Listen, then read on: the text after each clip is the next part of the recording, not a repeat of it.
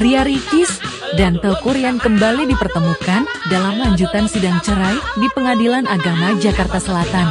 Agenda sidang kali ini mendengar keterangan saksi dari Rian selaku tergugat. Teuku Rian sendiri tiba lebih dulu bersama tim kuasa hukum dan saksi yang dihadirkan. Tidak lama berselang, Ria Ricis pun tiba di Pengadilan Agama Jakarta Selatan. Tak banyak kata yang dilontarkan Ria Ricis dan Teuku Rian saat memasuki ruang sidang. Ria Ricis hanya mengucapkan syukur yang seolah menandakan kondisinya sehat. Alhamdulillah. Ucapnya, Ria Ricis juga sempat mengucapkan selamat berpuasa kepada para awak media yang datang meliput.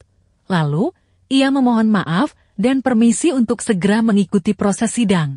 Selamat puasa semuanya. Maaf, maaf, maaf. Ucap Ricis. Namun yang menarik, ketika Ricis memasuki ruang sidang, ia sempat mencium tangan Teh Korean sebelum akhirnya duduk di samping tim kuasa hukumnya.